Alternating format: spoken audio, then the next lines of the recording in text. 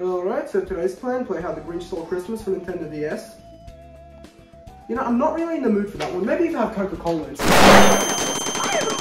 Oh, hey fellas, don't mind me, just having a trauma episode. You know, it's been three years since I talked about the Coke Soak and three years since I said hey fellas for the first time. How did I keep it up that long? You know, as proud as I am of everything I've talked about, there is still one thing that haunts me.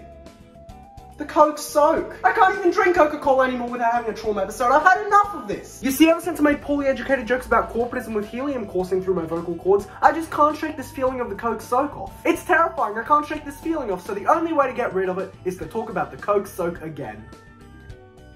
Why am I doing this? The Coke Soak, my favorite example of why certain brands shouldn't do certain things. You already know the drill for this one. The Aquazone was a generic water play area that opened at Universal Studios Hollywood in 1999. It was good enough for what it advertised itself as, it won an Urban Beautification Award, then it closed a year later and got cokeified. In all fairness though, there is a bit more history to this one. The Aquazone wasn't even the first thing that stood on the land. The area was a parking structure up until 1990 where it opened as an American Tail Live. It's definitely an American Tail, live. I don't know what to say about this one. It was a fun little kiddie musical that adapted the film pretty well. That's about it. The show was alright, all things considered, and it lasted seven years before being demolished and replaced by the Aquazone. This is not a neat little kiddie musical. Three years later, there's still not much to say about this one. It's it's a generic water play area. There was water, some benches, maybe a sign even. This thing is very poorly documented. I've got nothing on it. The reason it's so poorly documented is because Universal was barely able to squeeze a year's worth of life out of it before it got cokeified. Ah! You already know how this goes. Drink meets Universal, Universal meets money, the Coke Soak happens. How do they get away with this? And a year later, the Coke Soak opened in its place. I'm honestly convinced this thing took about a week from conception to opening, and the other 51 weeks were just spent dicking around. Speaking of conception, there isn't really much information on how this thing came to be. Around this time, Universal had a weird fixation on Coca-Cola with specific variants and flavors being exclusive to the parks. They put a lot of money into advertising it too, like it was this big thing that would get people to come to the parks.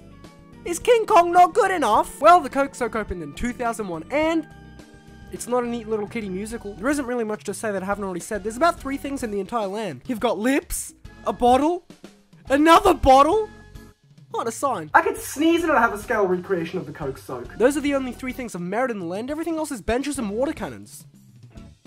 I take back what I said earlier about them conceiving and building this in a week. It probably could have been done in three days. And here, ladies and gentlemen, you see the entire budget for the Coke Soak.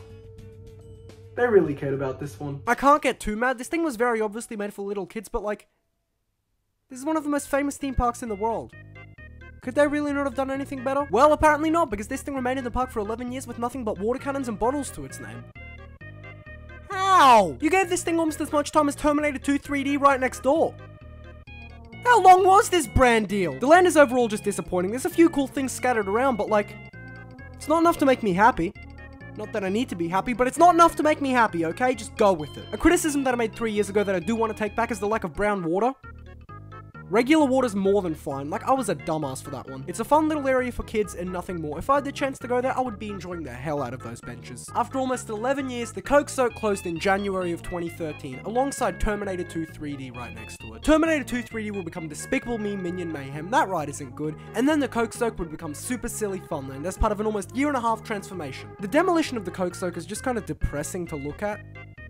Because, like, there wasn't much to demolish. It's like looking at the death of a loved one but much funnier. Just over a week after closing, the entire thing had been gutted, save for this pair of lips. I really want to know where that is now. And so that was the story of the Coke Soak, an interesting brand deal, sure. Interesting is the best I can give to it, not good. It was confusing. Why was there a whole ass Coke area at Universal Studios? And better yet, why did it last 11 years? There was nothing interesting in the land. It was a water play area, sure, but they could have given it a lot more personality. They could have easily just chucked a couple more props around related to the Coke brand, but no! Money! I'd argue the temporary replacement was better. Walls. Oh man, there's so much fun to be had! As dinky as Super Silly Funland is, it is a much better fit for the park, and there's actual theming here. It's a fun little area, much better than the Coke Soak, but the Coke Soak is much funnier. It sucks, sure, but a weird part of me found this sense of I don't know, amusement in it. It's just weird to me that Universal Studios Hollywood, one of the biggest theme parks in the world, had a small ass water play area dedicated to Coke, a brand that had nothing to do with movie magic. I will state it again though, this thing is not good. Overall, as dumb as the land is, it is kind of depressing to just see it gutted like that. I never went there myself, I only got the chance to check it out after it became Minion Palooza 2013, but I still had this sense of, I don't know, connection to it? It's probably because the land gave me so much. If I never talked about it three years ago, who knows where I'd be today.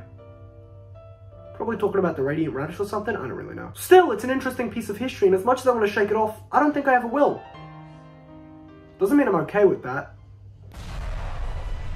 What, what the fuck? Oh my god!